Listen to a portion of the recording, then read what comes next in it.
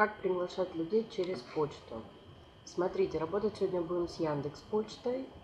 А, заходим э, в Яндекс. Открываем свою почту.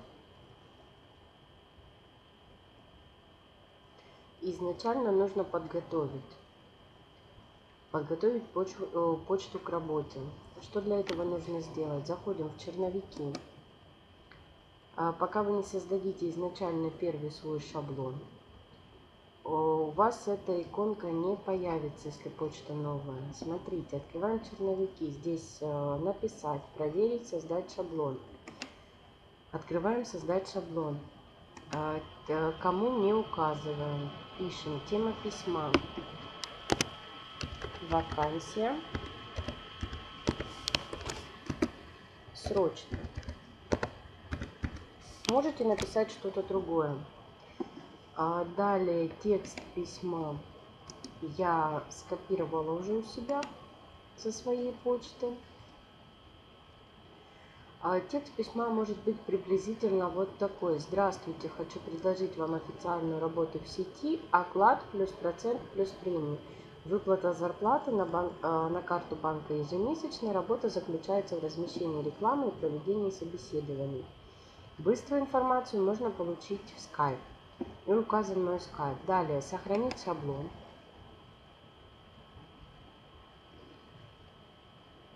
И то есть теперь смотрите, вы его сохранили, он теперь у вас есть. Опять заходим в Яндекс. И это я вам просто показываю, вы можете сразу не, не заходить заново в Яндекс, но я показываю, как потом повторно если будете заходить. Заходите также к себе на почту. Открываете свои шаблончики. И у вас вот он ваш шаблон, вакансия срочная. Открываем. И теперь будем его рассылать. Не более 10, а, не более 10 предложений с каждой почты. Поэтому почт э, желательно иметь несколько. Смотрите, работаем с досками объявлений. А, можно найти в поисковике. А можно, у меня уже как бы они есть, поэтому я буду работать с теми, которые у меня уже сохраненные стоят. А, выбираем, у меня уже здесь просто все стоит. Я выбираю обычно доски без регистрации чтобы не нужно было регистрироваться как э, с, э, ну, работодателем, чтобы можно было зайти и спокойно взять резюме. Так, найти резюме. А, с первой странички пошли. Медицинская сестра нам не нужна. Мужчины тоже, в принципе, не нужны, с ними тяжело работать. Продавцы можем взять. Открываем в новой вкладке. Так, сварщик мужчина будет. А, пастух тем более не нужен. Автомеханик не нужен. Фармацевт. Женщина может заинтересоваться.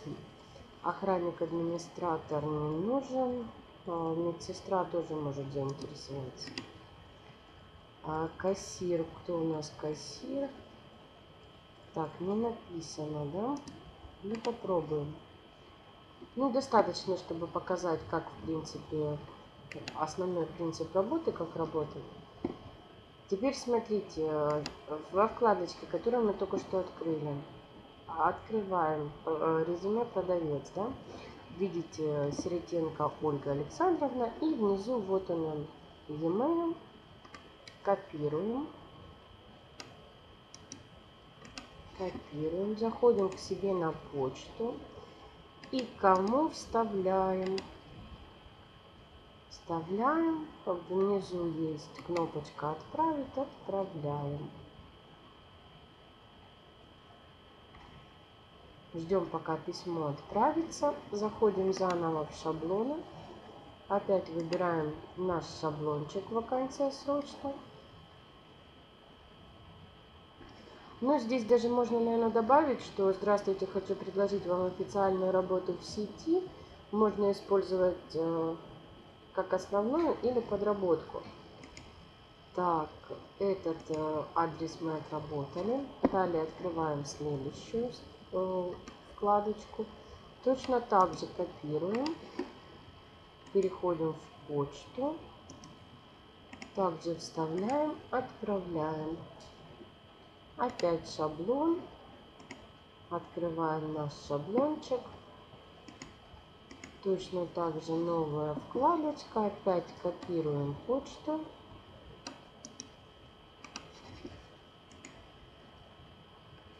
Отправляем. А самое главное запомнить, что на Яндексе можно иметь до 10 почт. А спокойно, как бы, никто вас, ну, Яндекс э, не считает ни IP, ничего. В день можно работать сразу с 10 почт, поэтому понимаете, да, что если будет 10 э, рабочих почт, то, конечно, по 10 писем с каждой почты, э, почты вполне будет достаточно, потому что это будет 100 отправленных вами предложений и 101 наверняка зарегистрируется. Откликов, конечно, будет на каждую почту из 10 будет приходить 2-3. А, в принципе, все зависит от того, каким образом вы будете проводить собеседование, как вы будете подавать информацию.